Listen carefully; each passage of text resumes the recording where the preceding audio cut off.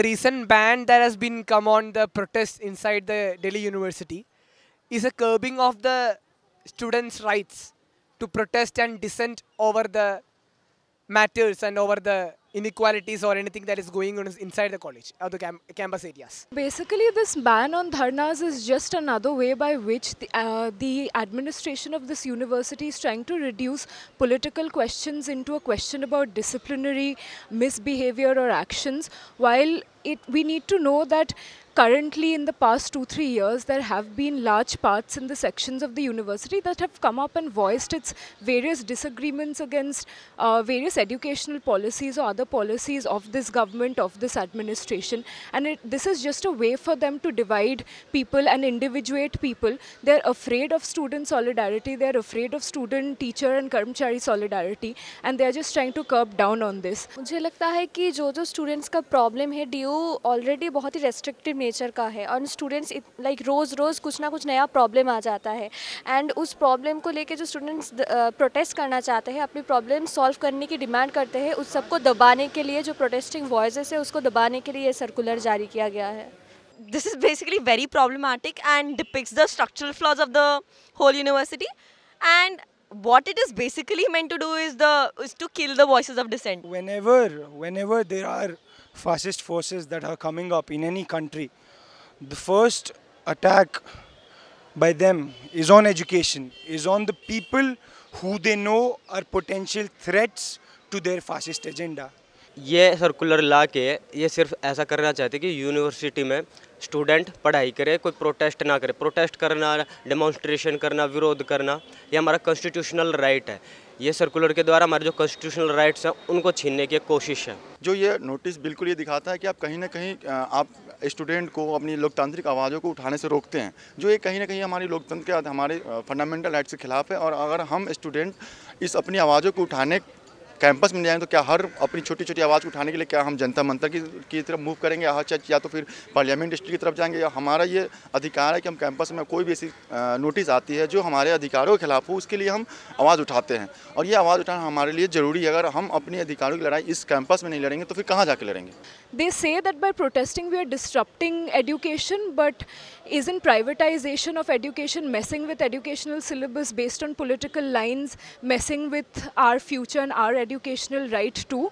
Why is that not seen as a disturbance and why is us coming on the streets to claim what our right is and to democratize this institution seen as a disturbance? एक तानाशाही सरकार के द्वारा तानाशाही प्रशासन के द्वारा इस तरह की चीज़ें लाई जा रही हैं देश में समाज में और विभिन्न संस्थाओं में लोकतंत्र को रोकने के लिए या फिर चीज़ किसी वेस्टेड पॉलिटिकल इंटरेस्ट के लिए चीज़ों को अपने फेवर में लेने के लिए।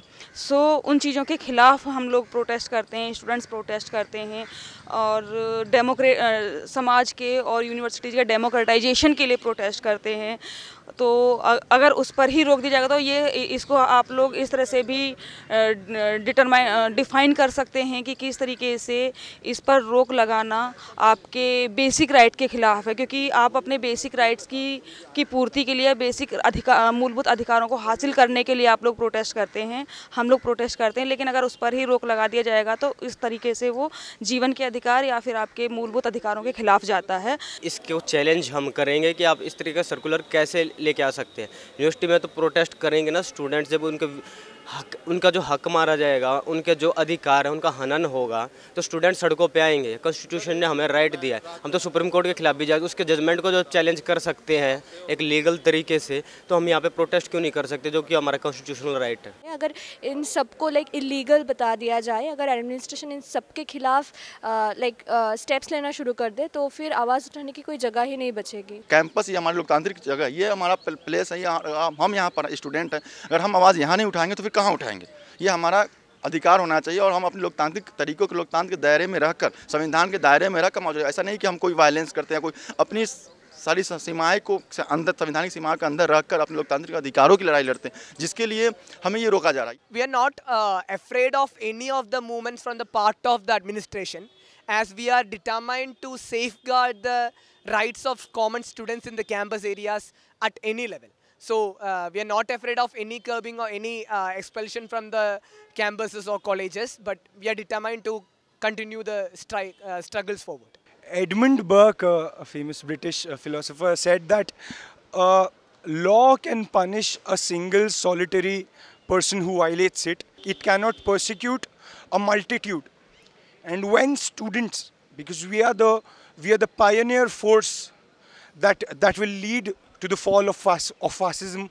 We will be the force that leads to the fall of fascism. And when this student community refuses to recognize that law that is made to put us down, that is made to shut our voices, I don't think they, uh, they have anything that they can they, that they can do to prevent that from happening. When we come together in a collective, when they can't take individual action against us, they fear that because they know that they can break individuals, but they can't break collectives that easily.